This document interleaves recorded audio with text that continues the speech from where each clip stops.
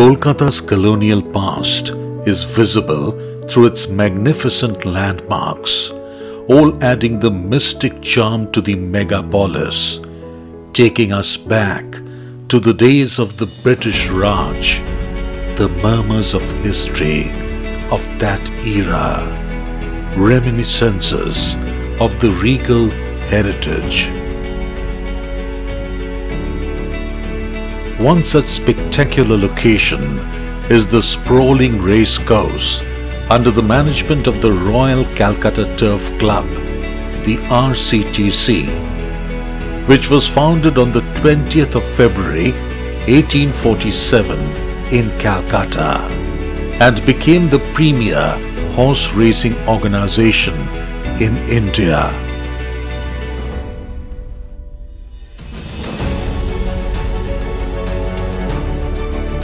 During the height of the colonial rule, even after the direct administration by the British Crown after 1858, the races it organized were believed to be among the most popular social events of the calendar, opened by the Viceroy of India. During the 1930s, the Calcutta Derby Sweeps, organized by the club, was the largest sweepstakes in the world. With the passage of time, the glory of the Royal Calcutta Turf Club has become multi-dimensional and exclusive, with the best of races being organized at the Kolkata Race and they're off and racing and losing a lot at the start there was the favourite Port of Spain about six lengths as they settle down to race and uh, resolute the early leader going along now in front. Now into the spotlight and Sagittarius vying for the lead. On the very, very wide outside, New Moon. two Then away between Lumos then comes Glorious Leaps one behind and that's aggression out of it completely Corona del Corsa they go past the 800 creation of God and four lengths behind is Blazing Bell. As the field gets past the 600 meters and comes to Soon after the fall of Bengal, in the wake of East India Company's victory at the Battle of Buxar on the 22nd of October 1764, Calcutta gained its importance as a major trading center and the first base of British power in India. With an army based on cavalry, sports such as hunting, polo, and racing were naturally important as the British Army was heavily dependent on cavalry. For the first time in India, on the 16th of January 1769, at Akra, near Calcutta, organized horse races were held and had continued for the next 40 years. Initially, the races were held on narrow, rough, and poorly prepared courses. Such courses were not good for the participating horses because they would affect the performance of the horses as well as the jockeys. At this juncture, Governor Lord Wellesley prohibited horse racing in 1798. However, five years later, the Bengal Jockey Club resumed racing at Akra and races moved over to the Maidan area of Calcutta in 1809 where they are still being held.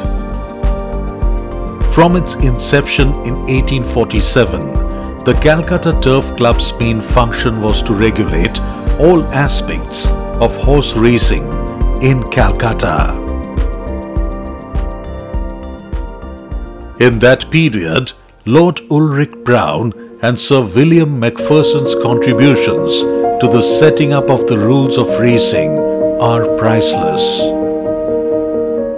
The Calcutta Turf Club added Royal to its name in 1912 after the King George V visited the races for the second time and in the early 20th century the Calcutta Turf Club conducted races on 28 days each year. The extensive stands of the Calcutta race course, white amidst lush green open space have a special charm. Away on the horizon are the high-rise city buildings and nearer the white marble grandeur of the Victoria Memorial in its well-planted park. This magnificent edifice stands sentinel as it did in the year when Calcutta races were honoured by the visit of Her Majesty Queen Elizabeth II, on which occasion she presented her own trophy, which she continues to donate every winter.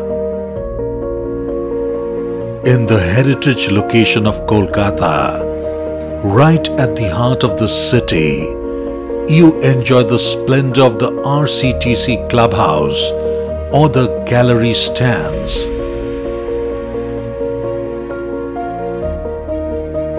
Fascinating lounges with great cuisine or a breathtaking view laced with lunch at the RCTC veranda overlooking the race course.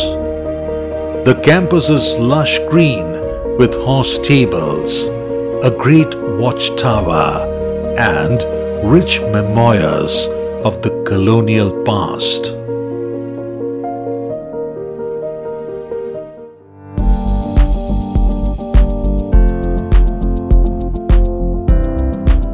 The racing days are very busy with the galleries and the stands filled up with those who bet their money on their favorite horses.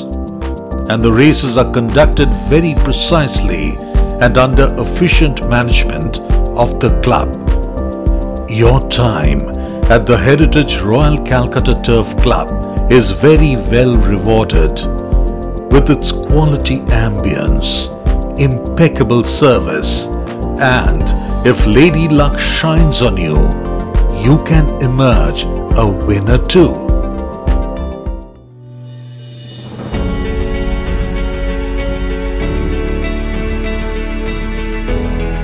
The memories at the Royal Calcutta Turf Club are truly priceless.